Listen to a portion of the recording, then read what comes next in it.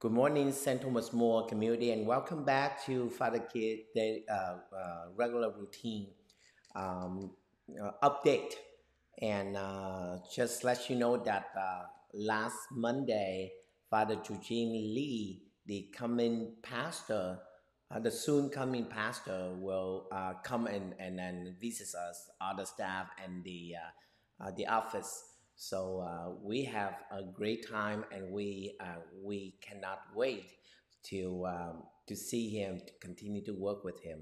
So we have a great welcome and hope that he will uh, come and introduce himself soon to each and one of us.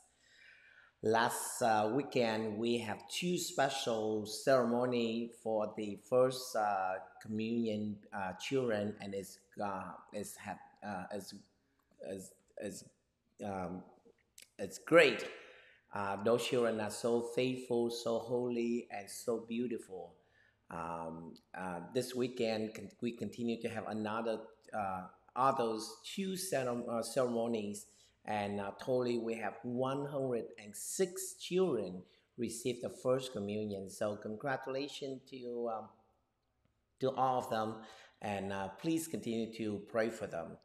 Uh, last week, uh, we also come back to the, uh, the old routine of having confession in the fireside room.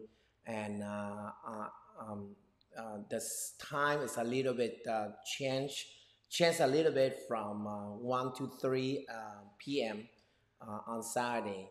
And we have a long line, and people are very organized they get in line in the front of the uh, uh, the church, and uh, they prepare themselves with to to receive the absolution. So.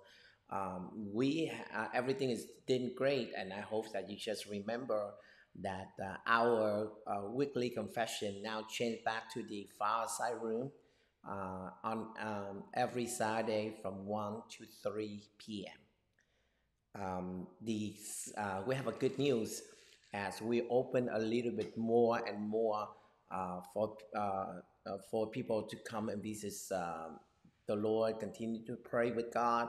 Uh, we now open the uh, Blessed Sacrament on Saturday from, from in the morning to the evening. So right after the 8 a.m. Mass on Saturday, uh, we will open this Blessed Sacrament and then we will close this after the 6 p.m. Mass on Saturday. So if you would like to spend time to God and continue to uh, pray with God, you are more than welcome. Um, uh, we planning to have a special um, special ceremony to all those uh, graduate in um, St. Thomas More community. Uh, we planning to have is on Saturday, May 29, and uh, the more information will come to you soon.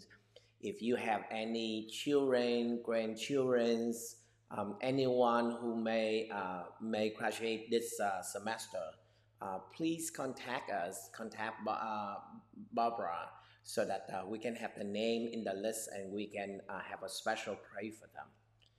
Um, the uh, um, the uh, this weekend is the weekend of all the mothers. Uh, we celebrate the Mother's Day, so uh, we would like to wish all the mothers, grandmothers, and godmothers a very happy Mother's Day.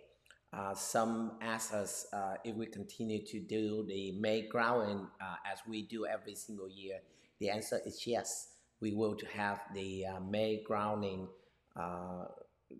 um, in the 8 a.m. mass. So hopefully that you can come and join with us. And uh, as we celebrate the uh, Mother's Day this weekend, uh, we wish that uh, each and one of us continue to receive the um, the uh, the blessing, uh, especially the mothers, so that you can continue your wonderful ministry that nobody can describe and um, imagine how much you love, how much you sacrifice for your grandchildren, your children, and your godchildren. May Almighty God continue to bless you, uh, guide you, and be with you on the journey of faith.